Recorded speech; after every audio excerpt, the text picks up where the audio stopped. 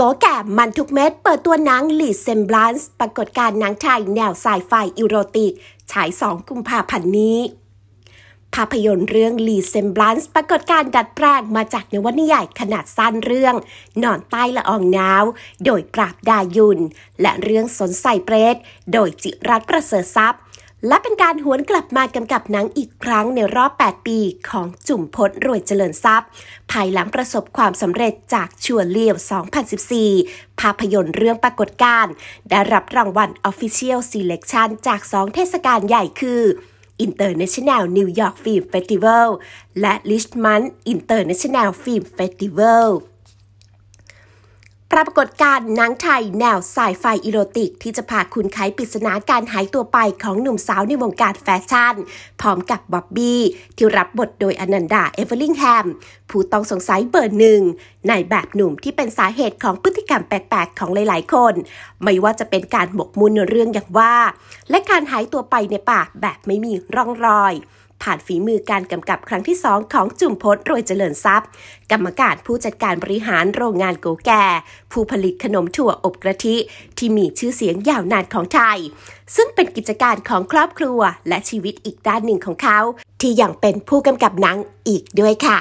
อ๋อเรื่องนี้ก็ตั้งแต่เห็นหนังสือเล่มนี้อ่านหนังสือครั้งแรกก็รู้สึกว่าชอบแล้วนะฮะก็คิดว่าเอออยากจะได้แบบนักแสดงที่เรียกว่าเข้ากับบทแล้วก็มาเล่นบทนี้ได้อย่างเงี้ยนะครับก็เรื่องนี้ครับ ก็เป็นเป็นแนวไซไฟอีโรติกด้วยนะครับก็อยากให้เรียกว่าให้เข้ามาชมกันนะครับจริงๆมันแตกต่างจากหนังไทยที่มีอยู่ยังไงบ้างครับก็ผมคิดว่าเรื่องของแนวไซไฟเนี่ยเราไม่ได้เห็นนานแล้วนะครับแล้วก็คิดว่าไซไฟในภาพยนตร์ไทยเนี่ยก็ไม่ได้เจอมาเรียกว่านานพอสมควรก็คิดว่าเรื่องนี้ก็เรียกว่าเราใช้ 4G ใช้เทคนิคพิเศษอะไรมาในหนังก็คิดว่าจะเป็นอะไรใหม่ๆดีนะครับจริงๆเรื่องมันเกี่ยวกับอะไรอะครับมันก็เกี่ยวกับเอ่อการแพร่เชื้อนะครับที่การ จริงๆมันมีมันมีแนวคิดของอะไรอะการติดต่อระหว่างธรรมชาติกับมนุษย์อยู่แล้วนะครับ อันนี้ก็คือว่าจะเป็นเรื่องของการแพร่เชื้อของธรรมชาติแหละที่มันแบบเข้าไปในตัวมนุษย์อะแล้วมีการเอ่อคนที่ติดเชื้อเนี่ยก็จะมีวิตามินร่างหนึ่งนะครับ ซึ่งอยู่ในตัวเองแล้วก็พยายามจะมีเพศสัมพันธ์กับเอ่อคนรอบๆตัวที่รู้จักนะครับเพราะนอกจากไซไฟแล้วมันก็จะมีอีโรติกด้วยมีโรติกด้วยนะครับมันหนักแค่มากน้อยแค่ไหนมันเจ็ดสิบเปอร์เซ็นก็ต์ เอาอย่างนี้ดีกว่าผมคิดว่าเอ่ออันนี้เป็นเป็นมี reference ของหนังภาพยนตร์ต่างประเทศที่ตัวเองดูอยู่นะครับก็รู้สึกว่าก็ค่อนข้างจะแรงนะครับแล้วคิดว่าในวงการเรียกว่าภาพยนตร์ไทยที่ดูมาเอ็นนาเนี่ย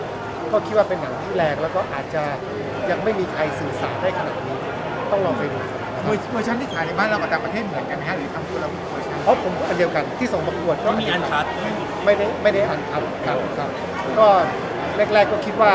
กบพก็ได้สัก 21บวกแต่ประมาณได้ 18บวกก็ขอบคุณนะครับที่ยังได้ 18บวกมันแค่ไหนมันแค่ไหนว่าผิวแค่ไหนก็ผมว่ามากพอก็มากพอสมควรนะครับมากพอสมควรแล้วก็มีนักแสดงยิ้มทั้งหมดเลยมีฉากที่ค่อนข้างจะเรียกว่าอะไรดีเป็นเซ็กส์เป็นอะไรอีโรติกค่อนข้างจะอันเดซีก็มีครับจริงๆทำไมทำไมจะต้องเป็นอนันดาอะมาลงคนที่นั้นนะคือครั้งแรกที่อ่านหนังสือของเอ่อพี่คุ่นนะครับปราบดา หยุ่นเนี่ย ก็เห็นภาพอนันดาอยู่แล้วว่า มันเป็นเรื่องราวของนายแบบหนุ่มนะครับ ซึ่ง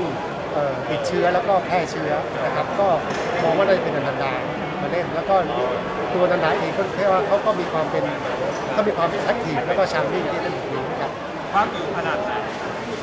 บทบาทต้นตอพี่ต้นบอกว่าก็ประมาณหนึ่งนะผมแบบอ่าผมพยายามจะแบบทบทวนอยู่เนี่ยว่าแบบทำอะไรไปบ้างเราวะทำอะไรไปบ้างผมทำอะไรคุณมะเนี่ยฮะ ที่จริงบทบาทของเราเรื่องในเรื่องนี้เป็นยังไงครับพี่นันดาพอได้บทไปแล้วแล้วพอได้อ่านแล้วมันจะต้องมีบทที่แบบอีโรติก เป็นหลักไม่ได้ไม่ได้ไม่ได้ติดเรื่องอีโรติกอยู่แล้วก็เป็นธรรมชาติมนุษย์ใช่ไหมมันก็เป็นส่วนหนึ่งของชีวิตคนเราไม่ได้ไม่ได้ติดเอ่อแล้วมันก็ไม่ได้มันไม่ได้อยู่ในบทแบบนำเสนอแบบ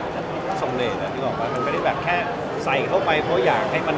มีความโป๊มันก็มีเหตุและผลนะ มันก็เป็นธีมของธีมของเรื่องธีมของหนังเพราะฉะนั้นถ้าถามว่าได้ในบทบาทในเรื่องนี้มันเป็นยังไงฮะเรื่องราวสตอรี่ของเรื่องสำหรับตัวตัวเรา เราเป็นนายแบบ ไปถึงไอ้เราเป็นนายแบบที่เราอ่าต้องเป็นแพร่นายเชื้แบอบชื่อบ๊อบบี้ ที่มีเชื้อก็เอามาแพ้เฮ้ยพวกคุณน่ะไม่ต้องมากดดันผมเลยอันนี้คืออะไรมันก็รีบเดี๋ยวเรามันก็รีบบ่นเหรอไม่ไม่ไม่สรุปอันนั้นผมคิดไปเองเอ้า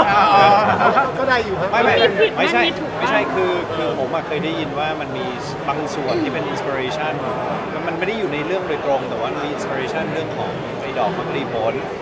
ก็คือไอ้ตัวผู้หญิงที่เป็นดอกไม้อะไรเงี้ยแล้วก็เป็นเชื้อมันมาจากอะไรอย่างนั้น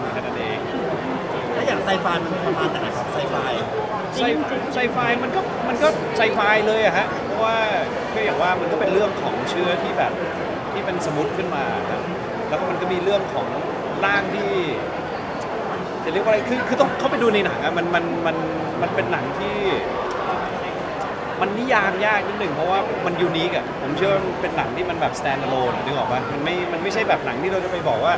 อ๋อมันก็คล้ายๆเรื่องนี้อะครับไม่ไม่ใช่อย่างนั้นนะมันก็แบบ on its own เลยมันแบบเป็นหนังของตัวมันเองเลยอะทางนักแสดงนำมันด้วยนางเอกเราเออไหนเล่าให้ฟังนี้มันมันโตแค่ไหนเล่นด้วยกันฮะก็คือคือไพลินเองก็ยังไม่ได้เข้าไปดูว่าเขาแบบตัดอันไหนออกบ้างหรือว่าใส่อันไหนไปบ้างอะค่ะ ก็เลยไม่ค่อยมั่นใจอะค่ะ แต่ถ้าเขาไม่ได้ตัดอะไรออกก็คือก็ค่อนข้างโป๊อยู่อะค่ะบทบาทของใช่ค่ะบทบาทของเราในเรื่องเป็นยังไงแต่อะคะบทบาทของเราในเรื่องเป็นยังไงอะ บทบาทค่ะอืมก็เหมือนที่ต้นบอกแน่นอนเลยเอ่อก็ก็เป็นเล่นเป็นลูกครึ่งอะค่ะ เล่นเป็นลูกครึ่งที่เป็นนางแบบอะค่ะ แล้วก็เขาก็เหมือนได้ไปโดนเชื้อคุณบ๊อบบี้นะคะ ไม่ใช่คุณอนันดาค่ะครับใช่ค่ะ มันอีโรติกแค่ไหนสำหรับไอรินก็ค่อนข้างอีโรติกนะคะ คิดว่าค่อนข้างอีโรติก ถ้าถ้าเทียบกับหนังไทย ที่เคยดูมาแล้วก็คิดว่านี้ก็คืออีกขั้นหนึ่งอะค่ะ แล้วพออ่านหมดแล้วมันต้องทำใจแค่ไหนกับฉากจริง ๆ ตอนอ่านบทไม่ได้ทำใจอะไรมากมาย เพราะว่าหนูโตมาที่เมืองนอกอะค่ะ มันเป็นเรื่องที่ค่อนข้างปกติดูหนังฮอลลีวูดอะไรเงี้ยมันก็ก็มันก็แค่การแสดงอะค่ะ ใช่ค่ะ แต่ถามว่าเขินไหมก็อาจจะเขินด้วยแบบวัฒนธรรมไทยนิดนึงอะค่ะ ที่แบบเออคนไทยจะมองว่ายังไงอะไรเงี้ย ร่วมงานกับพี่อนันดาเป็นยังไงบ้าง ร่วมงานก็ก็ดีดีค่ะ ก็ดีดีค่ะดีค่ะเขามีเขาเป็นคนที่มีประสบการณ์เยอะทำงานด้วยกันก็ค่อนข้างง่ายอะค่ะทั้งหมดเป็นอะไรครับอ่าปันนะเฮ้ยพี่ชัดนะปันนะ ห้าตัดปีตั ดด้วยด้วยความที่ว่าหนังเรื่องนี้ถ่ายไป 5 5 6 ปีแล้วค่ะ นักแสดงก็จำชื่อตัวละครตัวเองไม่ค่อยจะได้แล้ว character ของเราเป็นยังไงจำยังจำ character ได้เล่นเป็นตัวเองในเรื่องเล่นเป็นตัวเอง ตายแล้วแต่ละคนมั่วมาก ก็เป็นผู้หญิงที่เรียกได้ว่าก็มีคนรักแต่ก็ไม่ได้ เชิงว่าคบกันสักทีเดียวอะไรแบบเนี้ยค่ะก็คือเป็นเหมือนกับหัวสมัยใหม่รักนะ แต่ยังไม่อยากผูกพันอะไรประมาณนี้มากกว่าประมาณนั้น friendship plus อืมประมาณนั้นแหละครับผมของผมเป็นเล่นเป็นคู่ของพลินนะครับเออใช่เป็นแฟนเป็นแฟนใช่ตั้งแต่ก่อนยังไม่ได้รับเชื้อแล้วก็รับเชื้อขึ้นมาก็จะเห็น character ที่แตกต่างกันตั้งแต่เริ่มต้นและ หลังจากการรับเชื้อครับว่า character จะต่างกันยังไง ทั้งรูปลักษณ์แล้วก็ความแบบกระหายใช่ครับ จริงๆงานรับเชื้อแล้วพอเปลี่ยนไปมันจะเปลี่ยนเป็นยังไงเป็นซอมบี้เลยหรือว่ายังไงก็จะมีความต้องการมีความอะไรมาก ใช่ ก็คือมันเป็นคือเรื่องเรื่องของปกติของมนุษย์ เพราะมนุษย์คนเราก็คือเหมือนถ้าถ้าในความเข้าใจของผมก็คือสัตว์ชนิดหนึ่งที่ต้องการความ ความใคร่ความอะไรพวกนี้ใช่คือมันคือเรื่องธรรมชาติใช่ครับได้ก็น่าจะเป็นแบบเป็นเพื่อนของนางเอกแล้วก็จะมาชอบแบบอ้าวเดี๋ยวนะไม่ชอบกันเลยเรายังไม่รู้อ๋ออาจจะแบบว่ามีความแอบแซบอะไรอย่างเงี้ยสปอยแล้วเยก็อะอะไรกันประมาณนี้ค่ะแล้วก็จะได้รับเชื้อจากหยองอะไรที่เอ๊ะชื่ออะไรค่ะก็อะไรประมาณนั้นค่ะเพราะว่าของปอฉากก็ไม่ได้เยอะมากก็ก็ เท่าที่จำได้ก็ประมาณนี้นะคะว่าหนัง5ปีแล้วอะค่ะ เรา erotic กับเขาไหมเออคือจริงๆแล้วอย่าไปคิดเรื่องอย่างนั้นเยอะอะครับ เพราะว่าผมว่าในทั้งทั้งทั้งมวลทั้งหมดอะมันมันเล่าเรื่องอื่น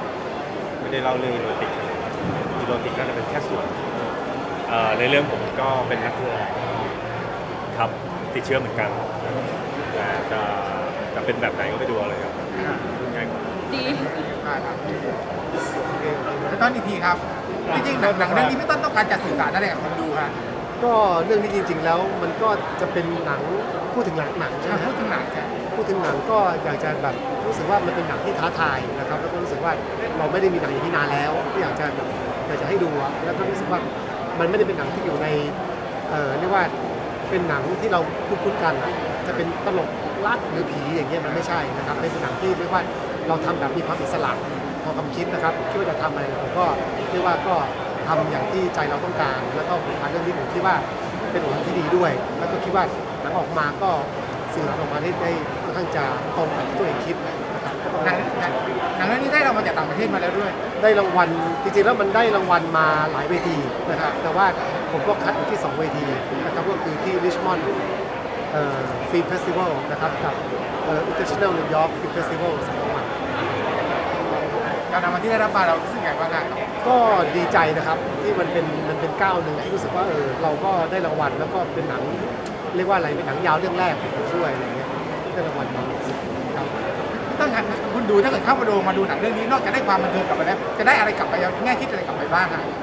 ผมว่ามันมันน่าจะให้อะไรกับวงการภาพยนตร์ไทยได้ใหม่ๆนะเพราะว่าเพราะว่าจริงๆแล้วผมคิดว่าเราห่างหายจากหนังที่ เป็นอินดี้ไปพอสมควรนะแล้วก็เรื่องนี้ก็ไม่ได้เป็นอินดี้ที่เข้าใจยาก แล้วก็ไม่ได้เป็นหนัง art นะที่รู้สึกว่าดูแล้วอาจจะยากอันนี้แล้วก็ไม่ได้เป็นหนังที่ตลาดมากอะไรอย่างเงี้ยก็เป็นเป็นเป็นแบบหนังที่ที่ว่าทุกคนดูได้นะครับโอเคสุดท้ายแล้วให้พี่ต้นฝากเชิญชวนคนไทยว่ามาช่วยกันดูหนังเรื่องนี้หน่อยครับก็ก็เมื่อกี้ก็พูดไปแล้วนะฮะก็คืออยากจะอยากจะให้มาดูนะครับ ผมคิดว่าปรากฏการณ์ก็เป็นหนังอะไรที่ เรียกว่าน่าจะสร้างปราการอะไรใหม่ๆให้กับภาพยนตร์นะแล้วก็ในวงการภาพยนตร์ไทยได้อะไร